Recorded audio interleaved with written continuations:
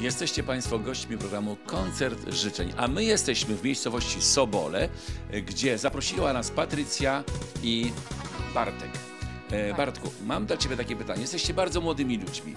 E, Czy mm, w związku z tym, że jesteście ze sobą dwa lata, macie jakieś takie plany? Młodzi ludzie zawsze mają takie, wiesz, ho, ho, ho, świat się nie kończy, wszystko mi się wydarzy, wszystko mi się uda. Jak to u Was jest? No nie, są jakieś plany. Jak być, jak najdłużej ze sobą, coś takiego.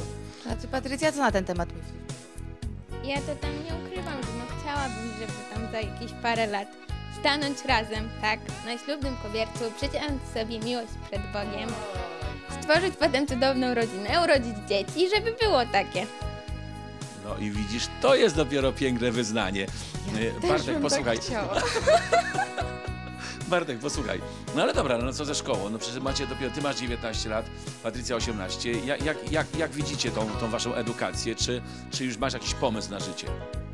No na pewno skończę tą szkołę. No i zajmę pójdę do jakiejś pracy. Kończę zawód mechanika samochodowego. Samochodowego. Tak. A ty Patrycja? Ja jeszcze mam półtora roku nauki, bo jestem w technikum, potem matura, no i też bym chciała pójść do pracy.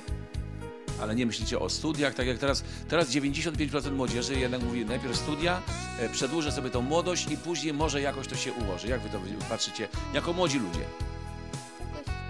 Znaczy kiedyś tak, myślałam o, wiadomo, to takie były dziecinne, o studia, coś tam jeszcze, piosenkarka, jak to kiedyś. A teraz, teraz już nie. Skończyć szkołę, pójść do pracy i tyle. Bartek, ale ty jesteś pewien, że, że, To że takie, będziesz w to stanie? takie realistyczne podejście do życia. Naprawdę, Oczywiście, tutaj.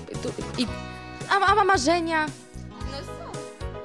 Bo droga córko, pragnę Ci uświadomić, że młodzież na wsi myśli realistycznie, nie fiu bździu gdzieś tam do Ameryki wyjechać, tylko tutaj Drodzy praca, Państwo, zobacz, przerywając mojemu tacie, który tak już się rozkręca, zapraszam do wysłuchania życzeń.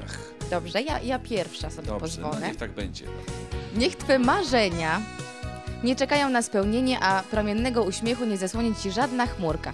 Mateuszowi z Gralewa, żona Kinga. W tym dniu szczególnym dużo zdrowia, szczęścia, spełnienia marzeń oraz samych słonecznych dni.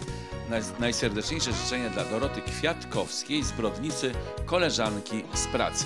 Nie czytam więcej życzeń, Drodzy bo Państwo, zapraszamy na piosenkę. zapraszamy.